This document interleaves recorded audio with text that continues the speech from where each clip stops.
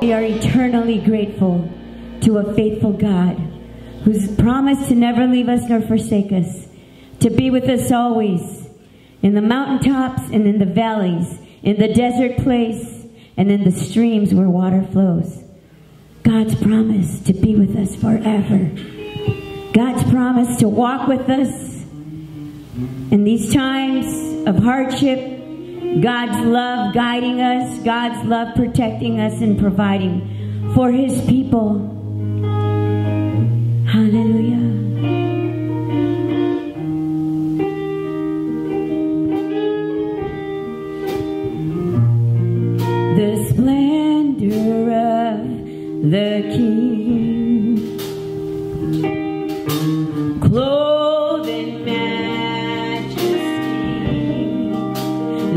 All the earth rejoice. Let all the earth rejoice. He wraps himself in light, and darkness tries to hide, and trembles at his voice, and trembles at his voice.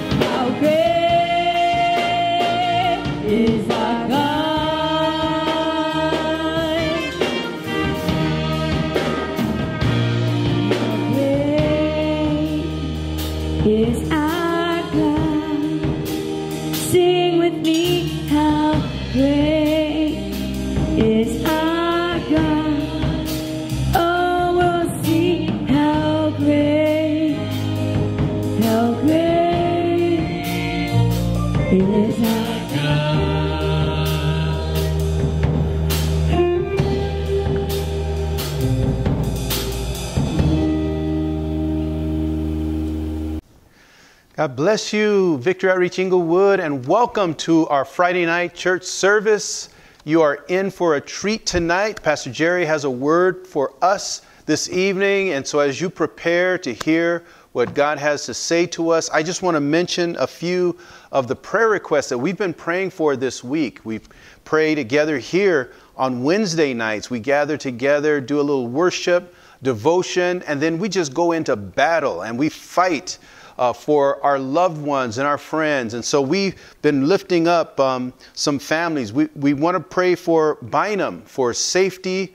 Uh, also for Angela Williams, we've been praying for her this week. Also for Angie uh, Meza uh, for a healthy baby, a healthy delivery and also the Perez family for comfort. They experienced a loss, and so we've been praying for them. And I want you to join with, uh, with me tonight as we pray uh, for these needs and whatever other needs that may exist out there. Uh, that you've been facing. We have been uh, also lifting up the Barfus family for the loss that they experienced just recently uh, tragic loss. And so we would just want to continue to lift up our family and friends this evening. So join me tonight as we pray. Heavenly Father, we thank you for your goodness, your faithfulness, my God, your grace. You extend grace, my God, to those of us, my God, that seek you and tonight we come before you, Lord, and we just come with burdens and needs. We pray for these families, Father God, the Perez family for comfort, the Barfus family for comfort, Father God, that you would move, my God, in the miraculous to touch them, comfort them, surround them by your grace and your glory. We lift up Angie, Lord, oh God, as she's about to have her baby, Angie Mesa, we just lift up this family, Lord, to you and just ask for a safe delivery, Father God. We pray for Angie Williams, Lord God, that you would be with her, Father God, that you would touch her, bring healing to her physical body, Father God. We lift up Bynum, my God, that you would guide and direct him. We pray for his salvation, Father God. We pray for every other need, Father God, that exists within our congregation for our church, Lord. We just pray that you would move and do the miraculous, heal those that are sick, move in a miraculous way, Father. We thank you for your great ability your love and your grace for us. We thank you in Jesus' name, and we all say, Amen. Well, I pray that you are blessed tonight with the service and uh, just prepare yourselves as God has a word for you this evening. Amen. God bless. All right.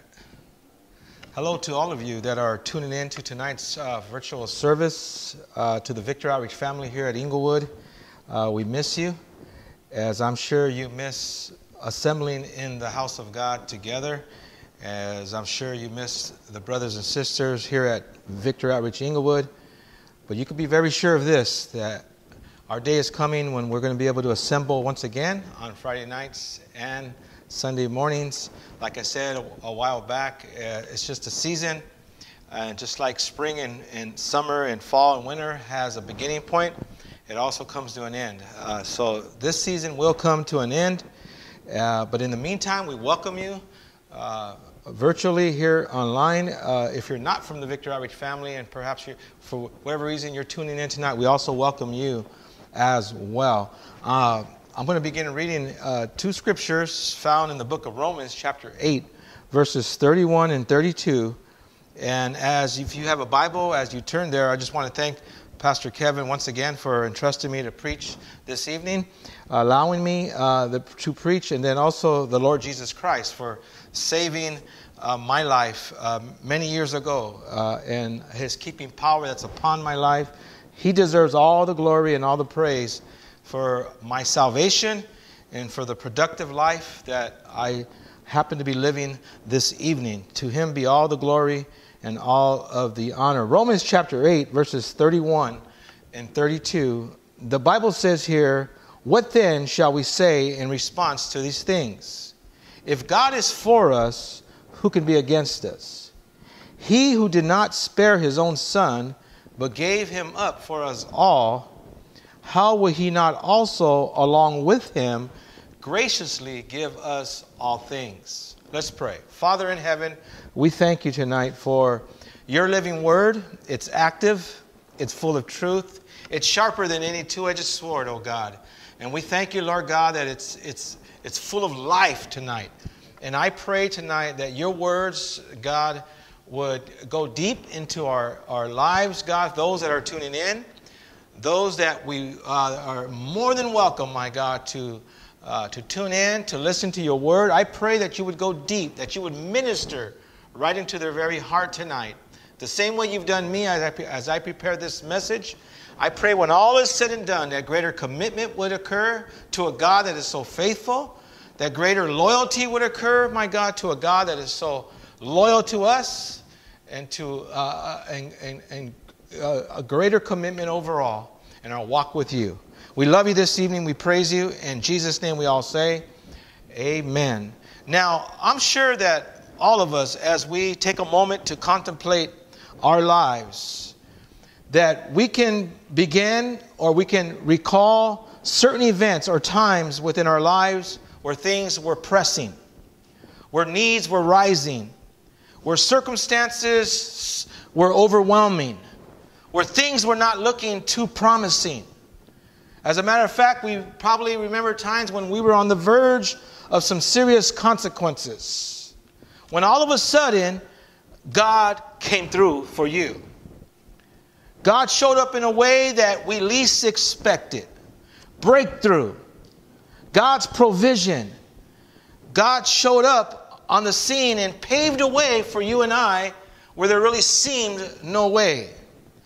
I'm sure that all of us can recall stories of how the faithfulness of God showed up in a powerful way on our behalfs. Now, if faithfulness is part of the character of God, and God has been showing up on behalf of his people for, for years, stemming back to the Bible eras, the Bible era, leading up to how he has come through for you and I, time and time again here tonight, how many really believe with all of your heart that God is far from being done? That he still is a way maker, he still is a miracle worker, and he still is a promise keeper until this very day. He is a God of provision. That when he says that he shall supply all our needs according to his riches and glory, that he means it. He backs it up. His talk is real, it's not cheap. He means what he says. Now, in John chapter 16, verse 33, Jesus says that in this world, we're going to have trouble. Another word for trouble is difficulty, problems. But right after that, in that same verse, he says, But to take heart because he has overcame the world. In other words, no worries. In other words, I got you. In other words, you know what? I'm out for your best interests. I have overcame all this in this world. And if I am for you, who can be against you in this world? So he says, Take heart. An extended uh, d- definition of take heart means to be courageous. It also means that help will arrive shortly. I love that. It also means that everything will be fine. Time and time again, we see in the Bible how the odds were stacked up against God's people. And God would move all of a sudden. God would perform miracle all of a sudden. He would perform his miracle working power when you think about the experience with the Red Sea. When the people of Israel were fleeing out of Egypt and they were making forward progress, all of a sudden they, they found themselves at the water's edge seemed like their backs were against the wall, with really nowhere to turn, the enemy advancing, probably all kinds of things running through their mind, really didn't know which way to go, couldn't go forward because of this great ocean, this great sea that was in their way. And what happened? The Lord showed up and performed a miracle right before their very eyes. Breakthrough provided for them. When you think about David and Goliath, here we see a big old seven foot uh, probably bigger than seven foot. The Bible describes him as bigger than seven, taller than seven foot. An army, an enemy of the army of the living God. The Bible says that he would come out day after day and defy the armies of the living God, disrespect, hold God's work in a in contempt, and matter of fact, the army was even shaking in their boots, intimidated by the stature, by the armor, by his natural physical appearance. But all of a sudden, a young boy came onto the scene and said, Who is this uncircumcised Philistine, that he should come out day after day like this and defy the armies of the living God. And we know the story there. God used a rock or a, a, a, a, rock and a slingshot, and because of the miracle working power of God, he slung that thing and eventually killed that giant that was holding God's army and God's work in deep contempt. Miracle, provision, breakthrough, we see it there. How about Joseph? Sold into slavery by his brothers. The odds looked stacked up against him as he was there uh, uh, uh, their uh, motives and their intentions were to do him harm, to get rid of him, to knock him off the scene. But what happened? Everywhere he went, the Bible says the favor of God was upon him. God's anointing was there with him, and God gave him favor every step of the way, even through Potiphar's house. Amen. We're talking about God showing up, paving a way where there seems no way. What about Job? We know what happened with Job. Lost everything he had, stricken with, with, with, with boils and skin disease, and, and, and lost his children, lost his livestock. Odds were stacked up against him. He had every, in the natural, he had every uh, excuse to, to, to, to turn away from God or to, you know, to, to look in a different direction. But as he stayed focused on God, God gave him breakthrough. In chapter 42, verse 10 of the book of Job, we see that ultimately he received double of what he lost. Breakthrough, showing up for him, providing for his children. Amen. The Apostle Paul, time and time again, shipwrecked, flogged, threatened not to preach, put in prison. And we know what happened when he started singing in prison and staying focused on God during odds that were stacked up against him in the natural. But what happened? God showed up, opened up those prison doors, set him free. Talking about the miracle working power of Jesus Christ, God's provision for his people. Jesus himself all the bad intentions, the motives that were set up against him in the natural. But little did the Roman soldiers know, and Pilate, and, and, and even those people that were watching and voting against him uh, to be, pers- to be uh, crucified. And all those people that were there, little did they know God had a different plan to perform miracle working power on that third day. In Luke chapter 1, verse 37, for nothing will be impossible with God, the Bible says. Tonight, perhaps some odds are stacked up against you. It's been difficult, it's troubling. Times are uncertain. Things look a little foggy right now, or blurry, and or, or, or maybe you feel like you're being hard pressed on every side. I got news for you: you're not crushed. Maybe you feel like you're abandoned or perplexed, but I got news for you: you're not abandoned. Amen. God wants to remind you tonight that He still rescues, God still delivers, He still sets people free, and He still is a God of breakthrough here for us here tonight. In Romans chapter 8, verse 32, the Bible says, He who did not spare His own Son, but gave Him up for us all, will He not also with Him graciously give us all things? I remember I heard Pastor Kevin say one time, he's never seen a sucked up pigeon. And in light of that context, when he was saying that, that that day on that Sunday morning, what he was saying was, even God takes care of the pigeons. He provides for them. And in Matthew chapter 6, verse 26, the Bible says, Look at the birds of the air. They neither sow nor reap nor gather into barns, and yet your heavenly Father feeds them. Are you not more valuable than, they, than them? In the natural, we are living in times that are uncertain, that are lacking clarity, that may be a little scary for some. But how many you know we're not called to operate in the natural? We're called to operate in the supernatural realm, the unseen, that place where the Spirit of God exists, that place where power exists. That place where miracles are put together on, on mine and your behalf. That place where breakthrough starts. I love that.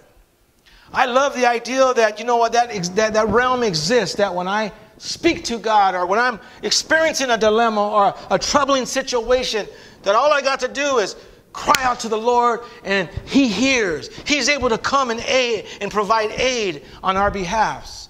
He's able to, to put together a miracle when we least expect it and make sure it comes to pass on our behalfs. That's the kind of God we serve.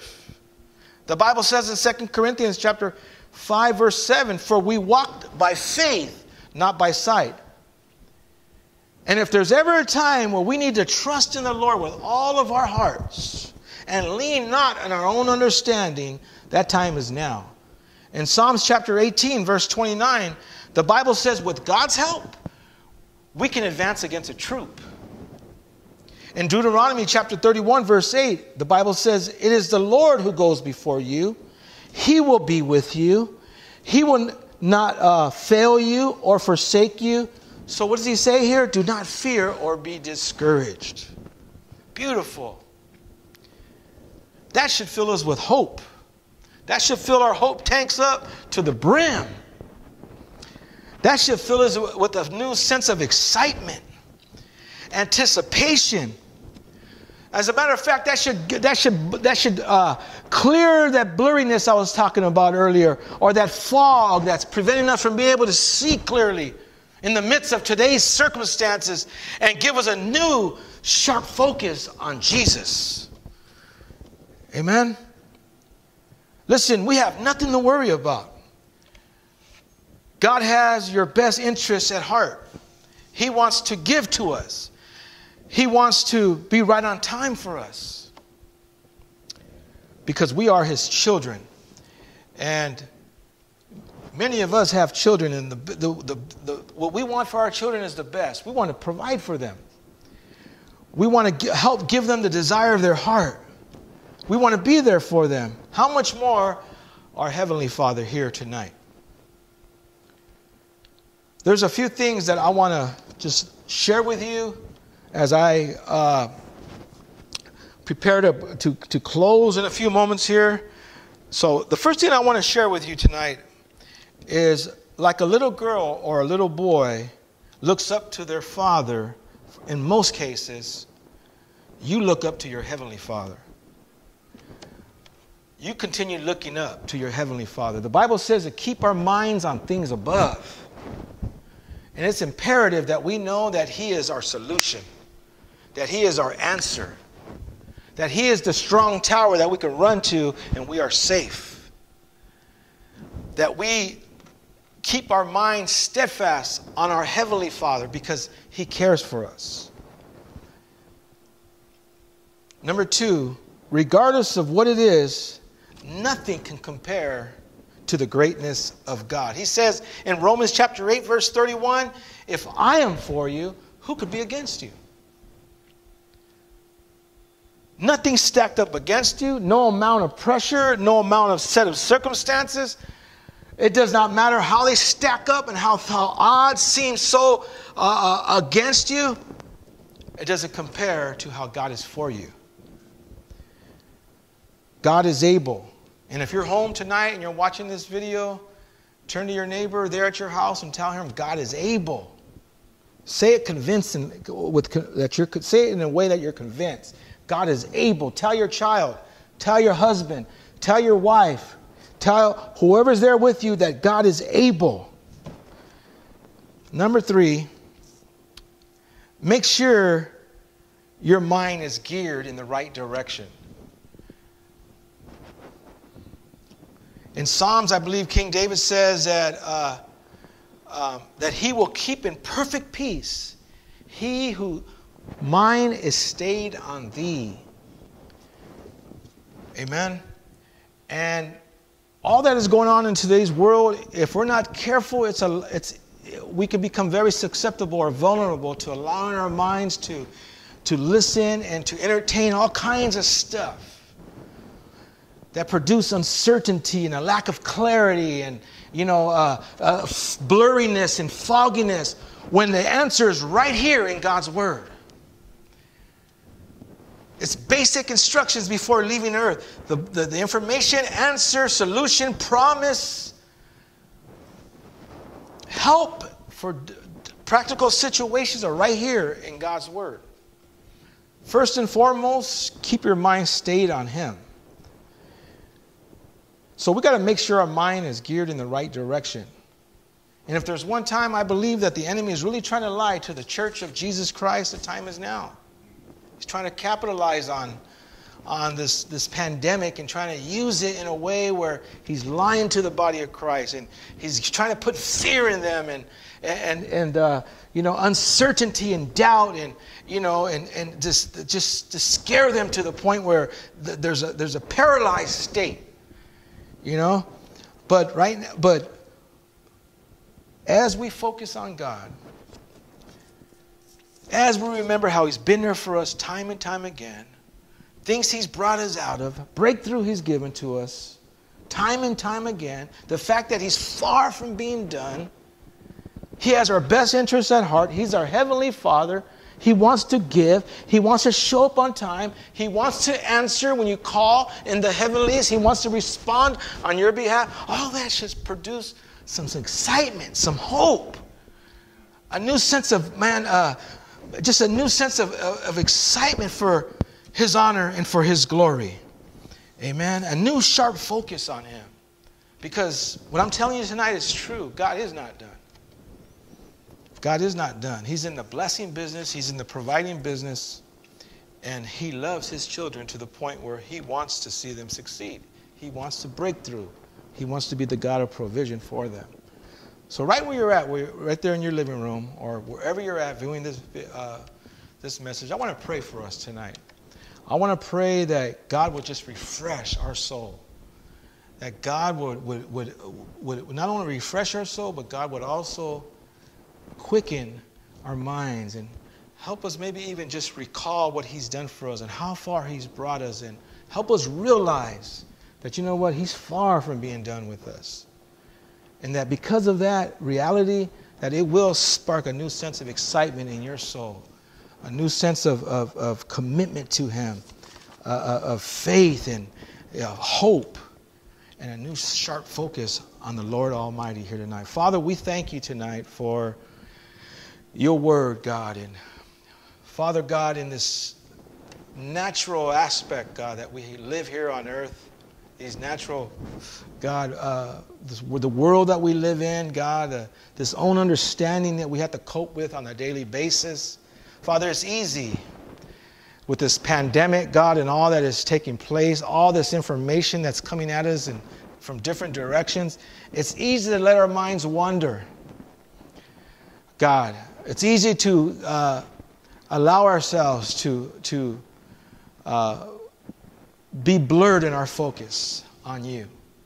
To see fuzzy, God, where we, where we, we, we, we, where we, we don't see clearly, my God, all that you have done and all that you intend to do, God. Father, tonight I pray that you would refresh the, those that are tuning in, that you would give us fresh focus on you, God. God, that as we open up our word, that you would give us fresh promises that we could stand upon.